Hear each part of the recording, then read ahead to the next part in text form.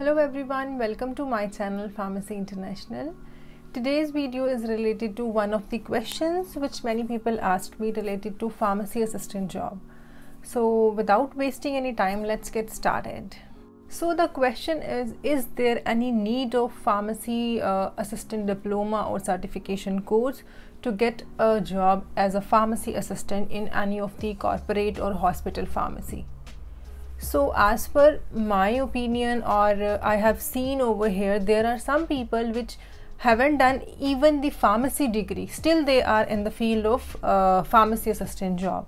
So, for, I can say what I can say from my own experience, or I have seen over here that there is no need means if you are doing this that's quite good. You will get a bit high salary because you will come to know everything related to pharmacy assistant. But it's not mandatory to do the pharmacy assistant diploma or the certification course to get the pharmacy assistant job